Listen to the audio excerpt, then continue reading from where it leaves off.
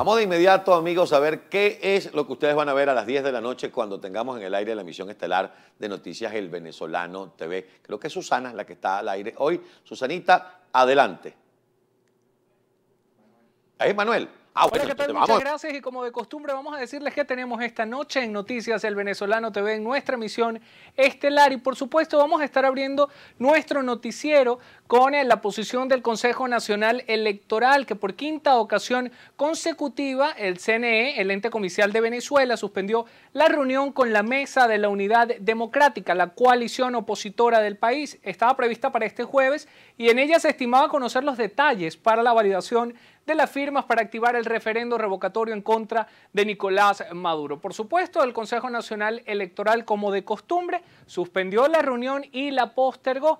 Los detalles los podrá conocer usted esta noche a las 10 en Noticias El Venezolano TV. Por otra parte, también vamos a estar hablando de las nuevas protestas que se activan en Venezuela, puntualmente en la avenida Fuerzas Armadas, en el centro de la capital venezolana. El día de hoy se activaron diversas protestas y que fueron contestadas por el régimen de Venezuela con más represión, con más intolerancia y con más odio. Les hablamos de una zona, amigos eh, de televidentes, que es históricamente chavista, ligada al régimen de Nicolás Maduro y del fallecido Hugo Chávez. Sin embargo, parece que el panorama cambió porque la gente estaba exigiendo comida, estaba exigiendo seguridad y exigían otras cosas que el régimen pues no les ha otorgado en 17 años de desgobierno. Ustedes lo verán esta noche, las fuertes imágenes de la represión y por supuesto el clamor del pueblo venezolano. También estaremos presentando declaraciones de funcionarios del gobierno español que siguen elevando sus voces a favor de Venezuela.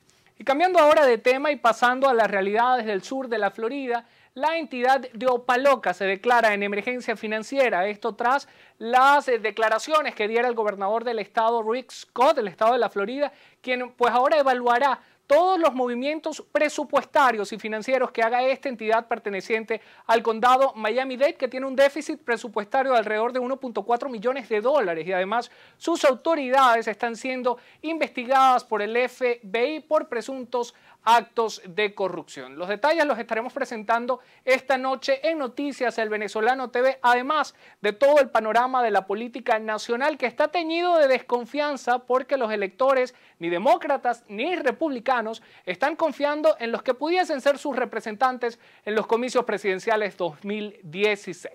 Esta es la información que tendremos esta noche a las 10. Regreso a los estudios.